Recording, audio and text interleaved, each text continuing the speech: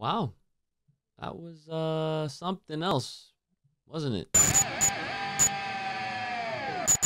Hold on guys, your boy Ooch and uh yeah, we're back again once again, but um I'm not gonna do all the crazy effects and all that for this video just because I wanted to get this quick thoughts review out there just to, you know, be a part of the conversation for once because I didn't really plan or have any time to actually do a reaction video. So I just wanted to, yeah, like I said, just talk about my thoughts on Chainsaw Man. Because, yes, that's obviously what this video is about. And it's been the talk of the town, probably one of the most hyped uh, series out there right now.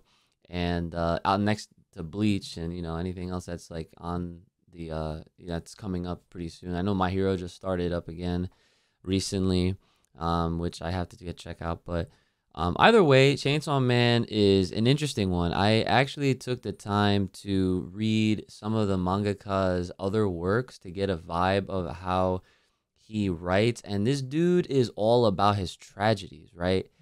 And I always wondered after finish finishing reading some of these works that I'm referring to, which I, at, at the time of this, like I don't remember what they're called, but they're on my any list, so I'll like make sure I like mention them at some point in this video or in the description or whatever. But he had like three works, right? That I read all of them um on a plane ride actually.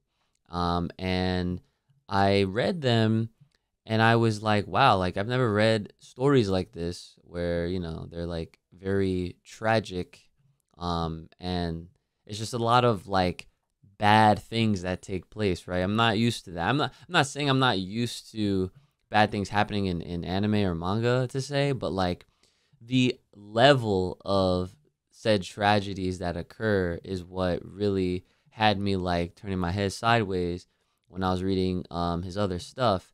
Um overall though, the stories were very good and they were they they drew me in um, and I know actually one of the stories that I read because uh, uh, most of them were one shots.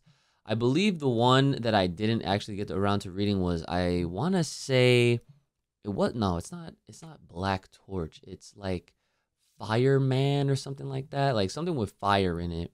Um, but that was on Shonen Jump, and then it disappeared when I went to go try to read it. So that one I did not get to read, but his other works I did read because they were just one shots. And like I'm trying to say, I'm bringing all that up because obviously within Shonen Jump, um, majority I w- of the stories I would like to imagine, or a lot of maybe some of the audience that I've garnered here on this channel, you guys are used to like the typical shonen fighting types of things, right? Where it's you know action and good story, good characters, and all that kind of stuff. But there's like certain tropes that are met and kind of certain things you expect out of shonen, like you know, drag from Dragon Ball to Bleach to My Hero to you know One Piece to you know anything you can imagine, like Black Clover, My Hero, like they all have very similar tropes and nuances, all that kind of thing. And I was wondering how is this gonna work for Chainsaw Man, especially off of how the mangaka himself likes to write his stories. I'm like, I don't know if he would be able to really kind of mesh his style with what would make a really good shonen and I can see how it's work how it's gonna work. Um, I I actually do, and not gonna lie, I was I was trying to see how the story would kind of play out on you know my own because again I haven't read any of the manga, right? But let me make you a deal. So basically, that's, like a little nod to the show because they're all about their deals um, in episode one. And uh, I'm going to not read the manga until this season is finished, and then I will because this is really good. This is very good. It's very interesting. Um, he he he's able to figure out how to incorporate all these said tragedies into this story that makes for a pretty good shonen. And I was wondering like what this could even be about because obviously the cover of Chainsaw Man kind of gives it away. Like main character has some sort of chainsaw esque powers to him. How does he get those powers? Those are explained in the episode.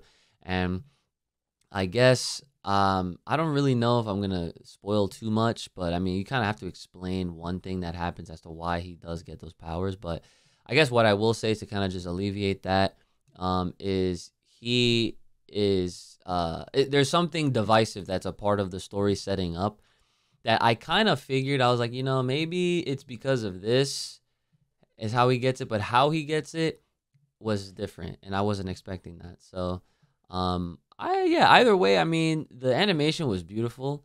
Um a lot of the CG stuff was like pretty all right. Um so at certain certain like scenes didn't really feel like they were uh how do you say? I don't want to say that. Like it kind of felt like they were a little they're not they weren't as smooth as like the other types of scenes like when they brought in the CGI like when the the big fight scene happens like towards the end of the episode um and I like I said I didn't I didn't really understand like where this could go or what exactly how this could set up or what kind of show it was going to be like I figured there was going to be action involved and like you know there's going to be blood obviously cuz you know how you to have a, a, a show called Chainsaw Man, there's not gonna be any kind of blood, but there's a lot of freaking blood in this one, which I was also surprised about because again, you know, shonen. I don't. This is not Berserk or anything like that, but like the levels of blood and all that, I was like, hmm, they're kind of pushing the boundaries here a little bit, which I was kind of, I was, I was definitely okay with, um, and I was really, I, I was really uh, enjoying um the gruesomeness that that it had, but